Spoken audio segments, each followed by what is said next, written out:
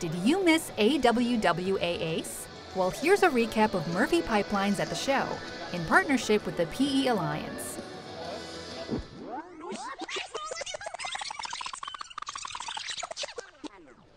We're going to be doing a live swage lining demonstration in booth 831 in about 30 minutes.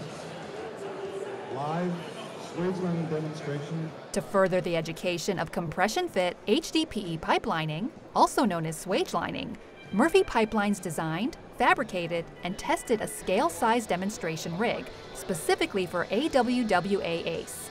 While most compression fit HDPE pipelining projects are ideally suited to replace large diameter water transmission and sewer force mains, the demonstration unit was built on a scale size version to showcase the technology.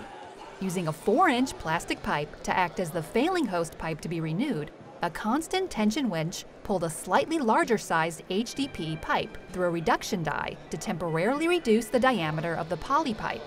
This allowed for the clearance to enter the host pipe. Tension remained on the HDPE pipe until it was completely pulled through the host pipe. The 15 second demo then showed the natural reversion of the HDPE pipe, and within minutes, the HDPE formed a tight compression fit within the host pipe. Over 11 demos were performed, with over 1,100 people witnessing the trenchless method in action.